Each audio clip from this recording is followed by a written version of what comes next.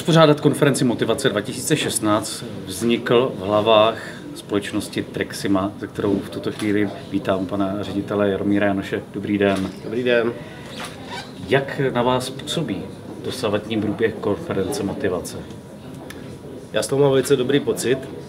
Myslím si, že to téma, které jsme zvolili, je pro všechny velice důležité. Dneska je doba, kdy je těžké lidi získat, je těžké lidi udržet a e, tady témata, která tady řečníci e, e, přednesli, ale také témata, o kterých se baví lidi tady ve foaje, jsou o tom, že nestačí správné lidi získat, je potřeba aby zajistit, aby ti lidi u vás dělali co nejlíp, dělali věci, které mají smysl, odváděli skvělou práci a to vlastně všechno do toho kontextu motivace zapadá, vidět, že to spoustu lidí trápí, zajímá.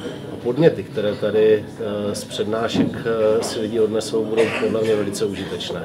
Nejsou to jenom takové teoretické, psychologické nebo jakési obecné příklady, ale eh, mluvili tady úspěšní majitelé společností, mluvili tady skvělí lidi z praxe, kteří působí na manažerských pozicích, ale zároveň se opírají o vědecké poznatky. Mě to teda zaujalo velice a doufám, že i ostatní účastníky. Vy se lidskými zdroji zabýváte dlouhodobě.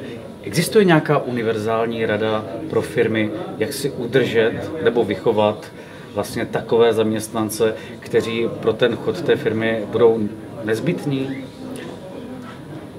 Nevím, jestli existuje univerzální rada. Eh, každopádně si myslím, že eh, je dobré sázet eh, na dlouhodobou práci, že neexistují žádné rychlé recepty, nějaké dodržte těchto 10 bodů a bude to fungovat. Eh, myslím si, že když eh, společnost eh, je budovaná postupně, roste z nějaké menší v nějakou větší, tak je hrozně cené, aby si držela nějakou kontinuitu, aby držela lidi, kteří pamatují to, jak to bylo, když ta firma byla v začátcích, jak se učila nové věci a podobně.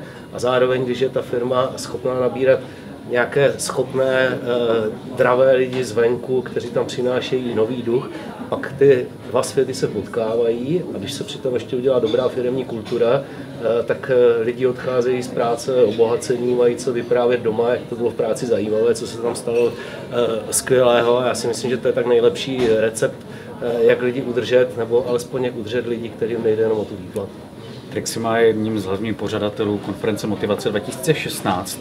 Rodí se už teď po tom, co slyšíte tady ve foje mezi lidmi, jak si povídají o tom, jak je to úspěšné, eh, plán vás v hlavě na další ročník? Eh, ano, eh, rádi bychom něco podobného zopakovali. Nejsem si úplně jistý, jestli to bude třeba přesně za rok, protože zdá se, že třeba zrovna tento termín ještě není úplně ideální. Lidi se teprve mnozí právě zvrátili z dovolené, někteří se ani nemohli účastnit, protože jim to z důvodu toho vytížení třeba právě po prázdninách nevycházelo, ale už máme myšlenky, jak to udělat příště ještě lépe. Jsme motivovaní udělat ještě lepší konferenci. Děkuji moc za rozhovor.